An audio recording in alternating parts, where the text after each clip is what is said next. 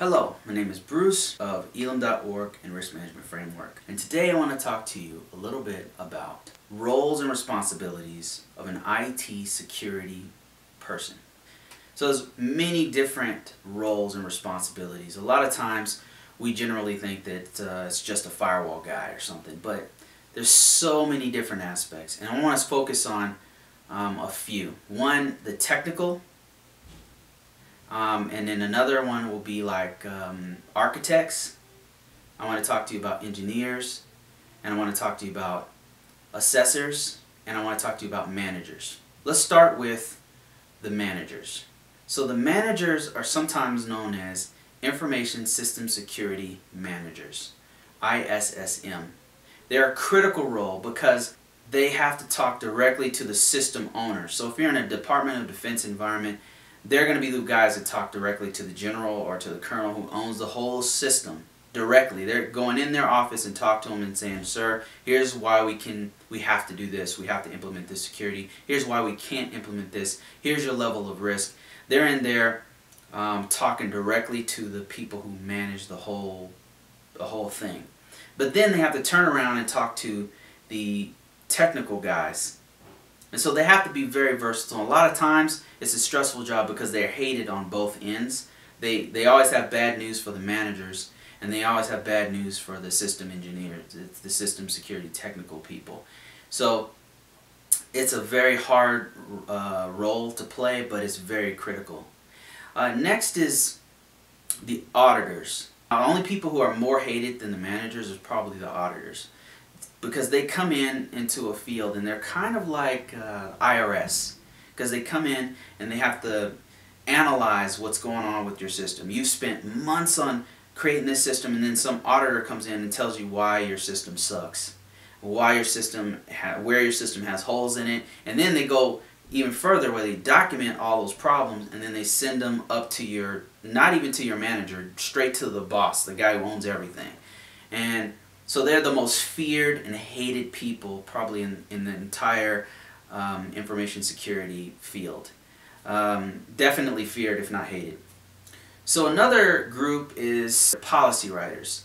Um, a lot of times they're called information system security engineers or information system security officers. They kind of have a synonymous job. They do a lot of the same things, but it's a lot of documentation. It's a lot of politics and policy is what they do. Certification and accreditation is what they used to call it. Now they call it risk management framework. But they do a lot of documentation. They do a lot of coordination with the system engineers to get that information of how the system needs to be secured or is secured and then they send that to their their boss which is the usually the information system security manager so a lot of times they're sitting in the same room as the information system security manager as they're talking to the upper level management management and so these guys they have a pretty rough job. This is what I've been doing for a very long time. I know a lot about this particular um, role, but uh, it's not that hard once you once everything is greased and good to go, and you have good relationships with the information, with the actual administrators, and a good relationship with the upper level management. It's actually pretty smooth. The problems happen when there's a contention between upper level management and the system administrators.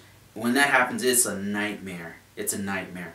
But nine times out of ten, you know, the job's actually been pretty pretty good. Next is the technical guys. You've got network technical guys. You've got a net they're specializing in networking, Cisco, Juniper devices, and have to know routing protocols. They have to know how to do switching. They have to know how why a, a network is slow, how to get it faster, how to add more stuff onto the network, how to expand it without make bogging it down, how to do wireless. Those are your networking gurus. And then you have your firewall guys. Your firewall guys. Um, of course, they do firewalls. And normally I notice that they're specialized in one particular product. Like right now, what's hot is the Palo Alto firewall, so they'll be really good at the Palo Alto firewall. But typically, once they know how to do the, I notice the real good guys, once they know how to do the firewall rules or VPN rules or all that kind of stuff, and they know how to do it really well on one product, they usually can translate all of that onto another product, such as the Cisco firewall, or they can do it on the Sidewinder firewall, which is now called McAfee firewall, I believe, or any kind of firewall. They can usually just go back and forth because they already understand how a firewall is supposed to work, so it just comes to them like that. So other technical people would be like server, your, your server gurus, your server technical experts, and they typically, the security portion of it, and normally I notice server guys aren't like just security. The security is like a side thing for them.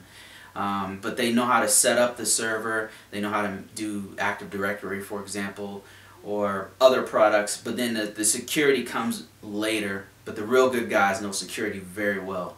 So those are your technical guys, and there's I'm sure I'm missing lots of other different aspects of the technical side because it's just so broad. And normally they know one product, but once they're really good at that one product, they know how to do all these other products. Architects. So architects are normally senior level security, senior level, uh, very technical guys, and uh, they've been doing it for a very long time. Or if they're younger guys, they just are so good at technology. I mean, they're like the LeBron James of technology, and they just know it coming out of when they were born. They knew how to do it, you know. and I know a few guys like this, but these guys have to know how to talk to the managers, right? So they have to have the maturity level to go and talk to, go in the belly of the beast and talk to the upper level managers and explain to them in their own words how to do this extremely technical stuff. They have to be able to translate what is this huge infrastructure, which they have to understand, by the way. They have to understand the, the networking piece, the, the, the security firewall piece, the the uh, the auditing piece and all the stuff that goes on with the information system security officers, all the policies. that They understand a little bit of all of that and then wrap that up in a bow and then explain that to the upper level management in a technical way that's not going to confuse them. It's a very hard job. It's very political and it's very technical. It's probably the hardest job of all is the architect job because um, you, you have to be very well rounded. Analysts. So analyst is something I'm recently familiar with. These are guys who watch the logs on a network. They watch all the logs on the network and it reminds me of like Neo in the Matrix where he's watching all that code go on the, on the screen and then they can say, oh, blonde, brunette, redhead. You know, they, they're that good where they're looking at the logs and then they can correlate and say, okay, I know based on these logs because um, this log triggered here, um, I can see that they came on this IP through the firewall that wasn't uh, didn't have a firewall rule, and then they went to this domain controller, and then they went to this system, and now this system is trying to beacon out to some system that's on our blacklist. They have to make all of those connections, and a lot of times they don't even have the visual tools to do it, you know. Um, but they use things like ArcSight, Splunk, and sometimes they just use straight raw logs um, to just determine what is going on on the network. These are the guys you call when you think you've been hacked. You're in your organization and you think you've been hacked and you have to call somebody.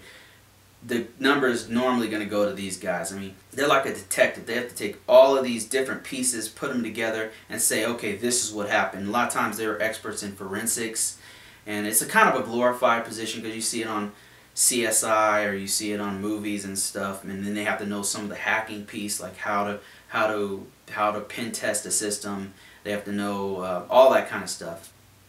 That's pretty much it. I mean, those are the ones that I'm familiar with. There's lots of other aspects. There's physical security. There's uh, crypto security, which we didn't talk about. There's CompuSec. There's MSec. There's uh, electronics. There's so many different aspects of just security. So I just want to cover like the main roles that you see in an organization and how they relate to one another. So that's it.